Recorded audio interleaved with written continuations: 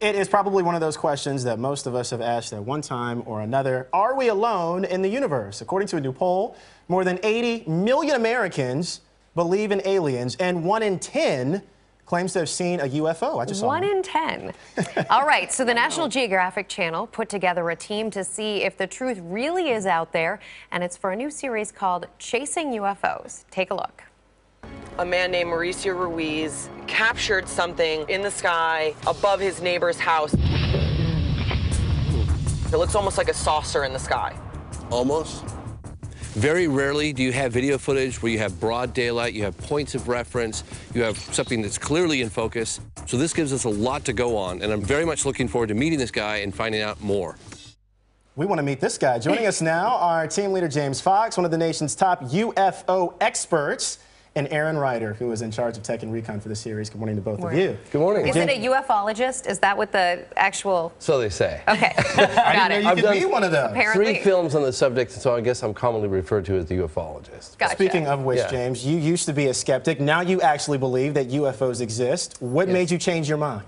the preponderance of evidence. It's not necessarily one particular case, but when you have generals and FAA officials and astronauts and colonels and you know, pilots and radar operators all telling you, hey, these things are real. At some point, you go, hey, how much longer can I go on denying their credibility or, or discounting what they're saying? So it's preponderance of evidence, both military and civilian from around the world. And you're not just saying that because you have a TV show. No, I'm not. no, I'm dead serious. I'm, I'm absolutely dead serious. I was doing this for free before I got involved with National Geographic for nearly 20 years.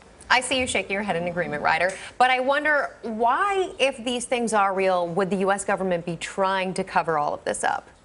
Well, trying isn't something I guess that we think that they're doing. I think it's just it's out of need. You know, it would cause hysteria if the public knew all that was actually would going on. Would it though? On. Because if 80 million people already believe they exist. Here, here's the thing, and I've asked this question to astronauts in general. I really have because I want to know. I'm like, why would anyone want to cover this up? This would be the greatest discovery of our time. And they say, well, look at it from a standpoint of a governing body or the military. Have to admit to say that there are these objects of unknown origin whizzing around with impunity in our mm. airspace and we say, you know, they fly rings around our We don't have any jets, jurisdiction over them. And shall they turn to be hostile? Not saying that they are, but shall they turn to be hostile? We have no visible means of defense against them. And no military or governing body wants to disclose that type of information. So, for argument's sake, let's say that they are real. Predict the future for me. When are they coming in? Where are they coming from? What's going on? Well, that's you're forcing me to speculate, but uh, there, I've heard several hypotheses. I've heard uh, interplanetary, I've heard interdimensional, and I've heard I know this sounds crazy, but I'm just telling you. From, Spa- from the future or something like that? Yeah, or from the or, ufologist. This sounds apparently crazy. Time, apparently, time is malleable, or it could be all the above. But the through the process of elimination, it has been determined that it's not us. So it's you know we've been to Russia, it was Chinese, it's Japanese, it's the French, and all of them had said it's not us. So mm-hmm. the only other possibility is Ryder, we have this video that you, you taped for the show over Texas, I guess, where yeah. you're seeing a UFO. I think people can see it. We have some of the footage. What did you think you saw that night? What is this video of?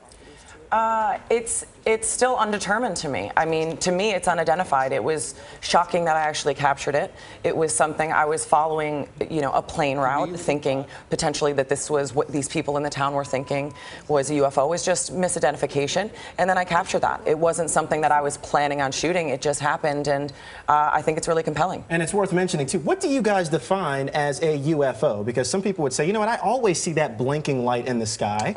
What is a UFO? No wings, no tail, ability to hover and accelerate from a standstill to out of sight in the blink of an eye, all without any sound, without any air disturbance, and without any sonic boom. And you have seen this? Uh, military and government officials from around the world have documented these cases. They've been photographed, they've been picked up on radar, they've had been visual contact. Um, and I myself we don't need to go into that, but a long time ago, which triggered my interest in the whole phenomenon, had a little bit of an experience with something that was a little more ambiguous, but certainly piqued my curiosity. That's what changed you. Uh, what changed me was the meeting with the military guys, because they're nuts and bolts kind of people. They're not the kind of, you know, they're not looking for attention. So. This is very interesting. I know. It's piqued yeah. my interest. I want to know more. We'll have to see. James Fox and Erin Ryder joining us this morning, Thanks, guys. Thank you so much. Appreciate Thanks it. Thanks for having us. And you can see Chasing UFOs on Friday nights on the National Geographic Channel.